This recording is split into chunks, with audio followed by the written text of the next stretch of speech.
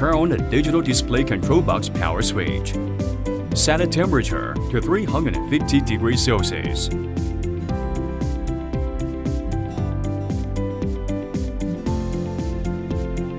Turn on the hot air gun switch. Adjust the temperature to position 5. Warm up for 5 to 10 minutes.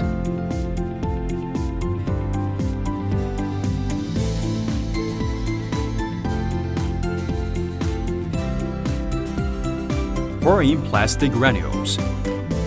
Observe the melting status of granules. Start a welding.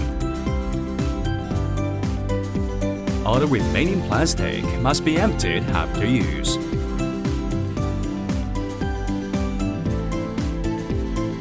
Set a hot air temperature to zero.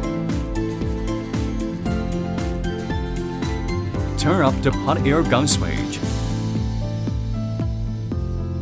Set a control temperature to zero. Turn up the digital display control box power switch. Turn up the power.